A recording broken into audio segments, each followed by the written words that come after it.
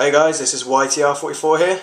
Just a quick video, I haven't done one in, in about a month. My camera's actually broken so I can't see the preview screen.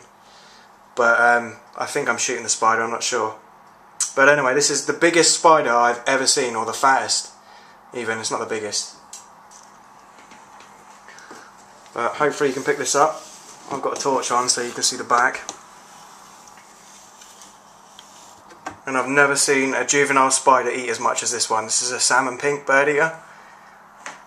And hopefully I'll get her to end up at about 10 inches, rivaling a Goliath bird eater in size. Let's get that torch up there. Nice one, cheers.